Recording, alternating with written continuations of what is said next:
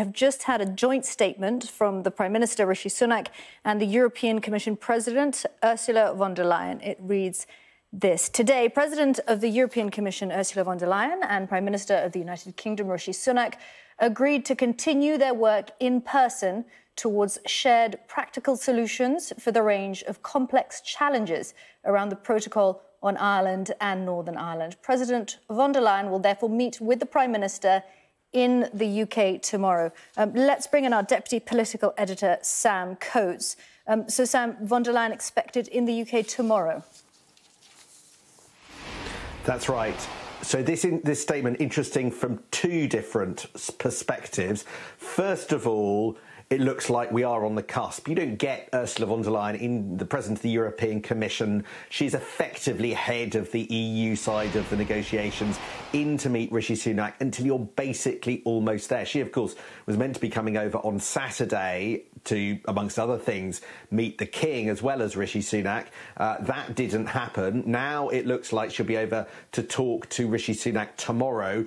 Could this be the moment the deal is signed, civil, uh, sealed, and delivered? Very, very possibly. These two individuals will want to have, as it were, a handshake moment when the deal is finally concluded, and that could well be the purpose of that. But, but, what this statement does not say is that a deal has been done. What this statement does not say is that there is something going to cabinet right now that's ready for Parliament to start looking at and, uh, and agreeing to tomorrow. It doesn't say we're, we're there. And that is interesting as well. Uh, it's fair to say, I think, that all day we've had quite a lot of back and forth. I've been speaking to sources uh, suggesting it's more likely this evening and then more likely tomorrow. And there's been a little bit of, of flux in the air. It has, however, looked like actually you could get something a bit more concrete than this, which is, after all, a holding statement of sorts. Now, it might well be that they're just not ready this evening to put it to everybody. It might be that, for instance, you had big Brexiteers like Steve Baker, who's a member of the government, go in to see number 10 uh, and possibly put the brakes on things a little bit. That Rishi Sunak just wants a bit more time either to look at the presentation or the detail before he's willing to press go on this deal. The, the, the outline of which, by the way, has been sitting on his desk for the better part of two and a half weeks. I mean, they may say there are still negotiations going on. If they are, it's a comma here and a, uh, and a, and a dotted I there. Uh, it's not the substance of the deal, which I think was sorted three weeks ago. And even now, tonight, they're not quite able uh, to say, yes, we're ready to go. We're calling the cabinet. We're calling MPs. This is actually about to happen. It's on the runway and it's going to happen tomorrow. So, so another development but it's not quite it yet, and that in itself is interesting. Okay, I just want to jump in there, Sam, because Ursula von der Leyen has tweeted in the last couple of minutes. There you go. This is what she said. Prime Minister Rishi Sunak and I agreed to continue working in person towards shared practical solutions under the protocol on Ireland and Northern Ireland. I will therefore meet with the Prime Minister tomorrow in the UK. So, Sam, back to you. What will this revamped deal, what could it contain? Well, I think there are three big changes that Rishi Sunak's been able to negotiate. The first is to effectively make it easier to transfer, to transport goods from Great Britain to Northern Ireland without any of the kinds of checks that you've got at the moment. So at the moment, if you want to get stuff into Northern Ireland because of that lack of hard border and it obeying single market rules, you have to fill in forms, fill in permits, the requiters.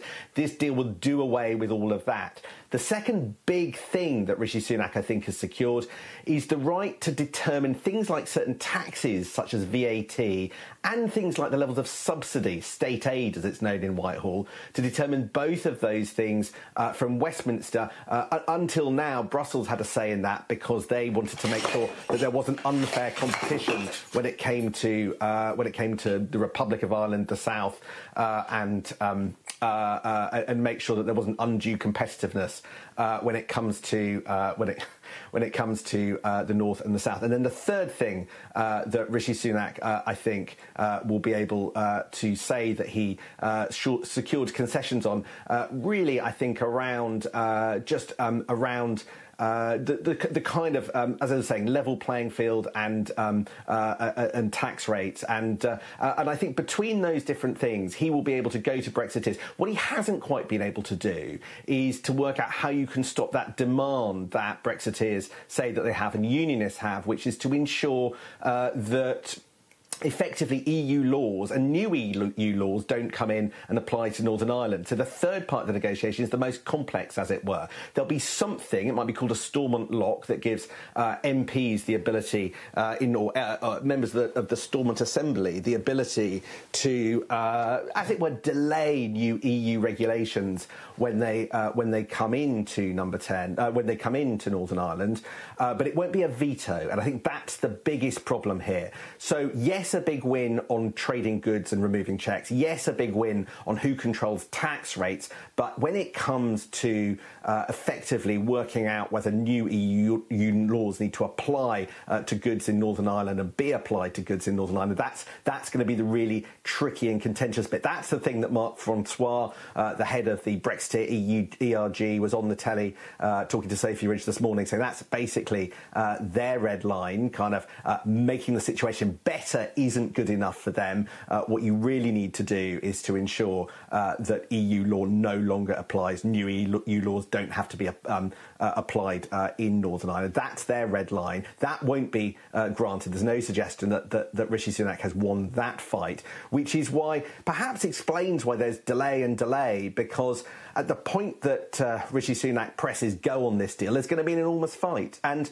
if we're being honest, we don't know how big the fight is going to end up being. Are there just going to be 15 Tory MPs that go to the wall on this? Or is the contagion led by Boris Johnson and Liz Truss, Brexiteers, fueled by the DUP, the Democratic Unionists? Are all of these people going to line up and condemn uh, Rishi Sunak's deal? Uh, that is potentially the case, in which case he's got a hell of a row uh, on his hands, and there could be uh, really quite a backlash, making it quite hard, potentially even for him to govern with this uh, with this row uh, bleeding into other areas of government. So absolutely critical point on, on one level. No surprise that effectively they've not come out with anything tonight, but it makes tomorrow look like a very, very big day.